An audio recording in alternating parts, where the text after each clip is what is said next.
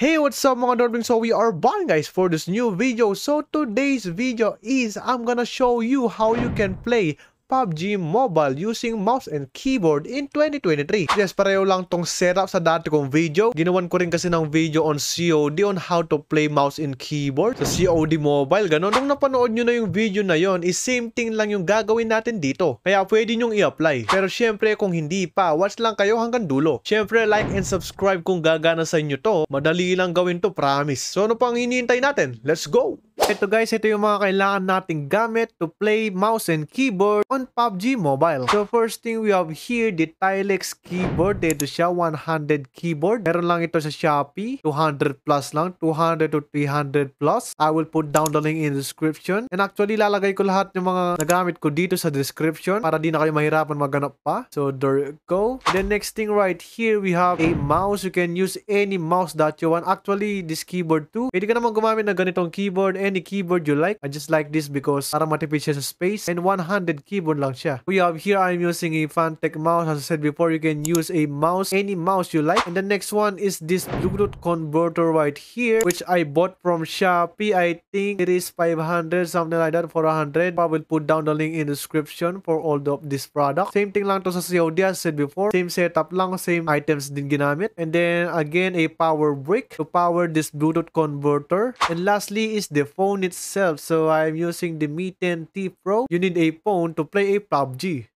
Of course. Ito lahat yung gagamitin natin for today's setup. So ayan, setup na natin. First na gagawin natin is to power this Bluetooth converter by plugging in. Yan, plugging in natin tong power cable natin. So let me plug in right here. And then actually, kahit naman pwede nyong i-insert ito sa PC or any device na merong power. It's up to you. I just use this power brick kasi ito lang yung choice natin ngayon. So, saksak ko lang. Once na nasaksak nyo na or na-power nyo na yung Bluetooth converter, mag-light siya dito, of course. Then, next thing we wanna do is to get the keyboard cable. Ito siya, i-port natin dito. I-plug natin dito sa Bluetooth converter. And then there you go, na ilaw na yung keyboard natin. RGB keyboard din pala ito. Next thing is itong mouse. Of course, RGB din to actually. So, boom.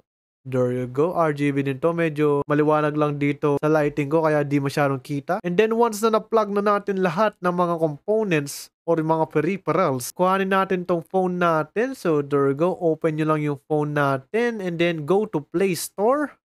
Play Store.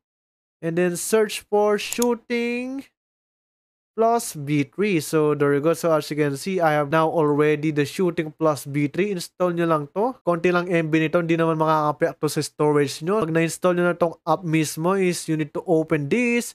And then agree-agree lang kayo dito. Okay, so yun. Permission daw sa floating something like that. And then hanapin nyo lang dito sa ilalim. Shooting B3 and then on natin dito. So there you go. Hindi naman to virus or anything security. And then allow allow, yon allow. So, okay. Right here, it said device disconnected. Sana makita nyo, ayaw mag-focus sa camera. Ayan, sabi niya, device disconnected. What we need to do right now is to click that device disconnected and matik siyang pupunta sa Bluetooth. So, let's turn on the Bluetooth. Hanapin natin yung Shooting Plus B3 and For me, of course, nakakonect na ako dito. Hanapin nyo lang dito. Refresh, refresh lang kung di nyo mahanap. Just like that. What we did is, nag-connect tayo dito sa Bluetooth converter. So, Bluetooth to phone, something like that. So, once we are connected, go back. And then, there you go. Refresh nyo lang to. Pag wala pang app na lumalabas, refresh nyo lang. Exit nyo lang yung mismong app. And then, open again. Pag na-open na, allow. So wait nyo lang. So as you can see, please wait and then boom, lilitaw na mga app dito. Right there, we have the rules of survival, Minecraft, COD Mobile, and then the PUBG itself. Of course, in this video, I'm gonna show you how you can play on the PUBG. So let me click this thing and then download F1. Download lang natin dito yung F1 para, para matik mamaya. Mamaya papakita ko. Once you downloaded that and then we're gonna go home, then look for PUBG. PUBG Mobile. Click na natin to. Open na natin yung PUBG Mobile. And as you can see, we have this floating area, I mean floating icon right here. Just leave it right there. Hintayin lang natin mag-loading to. Nag-load na yung mismong app, which is yung PUBG Mobile. First thing you wanna do here is to go to settings. Punta muna tayo sa settings para i-customize natin yung layout, yung controls mismo. Customize button and then customize natin dito.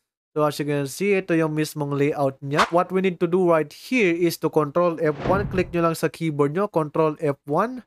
Ayun, nag-set na siya. And then click natin yung icon, yung pinakita ko kanina. Click natin to. And then, dito ang mga keys. You will see all the keys, icons, yung mga F, something like that. And makikita nyo, hindi pa sila masyadong nakaset ng tama. We're gonna manually set this thing. The left click is the gun, the shoot button. The right click is the aim or the shot. So, ito siya. Yun, there we go. Lalagay natin doon yung shot. Yung R sa reload, lagay nang natin dito. Yung space button doon. So, yung space, of course, yung jump. Just like that. Lalagay natin sa jump. Yung C, ikakabit natin sa crouch. Ito siya. And then yung V, ikakabit natin dito sa yung gapang, yung gapang-gapang. Di ko alam kung anong tawag doon. And then yung control, ila-align na lang natin dito. We are now set. So let's go save this thing. Okay. Na-save na natin. And then, yeah, we're gonna go back. Exit na natin to. And let's see in the game itself. So play lang natin dito. Start. Hintay lang tayo ng match. So, dito na tayo sa lobby. Ewan ko anong tawag dito. So, let's try. So, click W. Oh my goodness, guys. So, as you can see, it is now fully working. So, let me click the left click. Kung susuntok ba siya. So, right click and boom. So, there you go. Look at that. So, yes, it is now fully working. C for the crouch. Tingnan natin. C. Wow. So, there you go. V for the gapang-gapang. Then, there you go. Look at that. So, space. Ayun, tatalon siya. Space. Space space. So, there goes. As you can see, it is now fully working, guys. Walang duda. Gumagana na siya, guys. Yeah, you can control this if you want to. Yun, nag-game siya bigla. Let me show you a example of a game. Try ko maglaro ng game using this keyboard and mouse. Let's see if this thing will work. So, yes. Tus quieres seguir,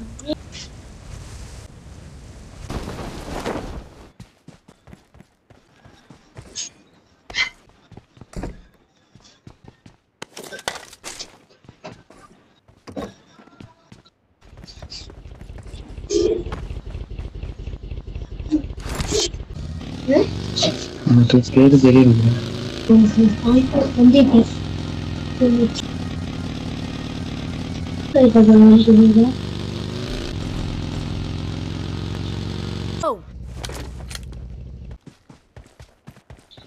சல்லிதான் கூட போறது சல்லி தேவை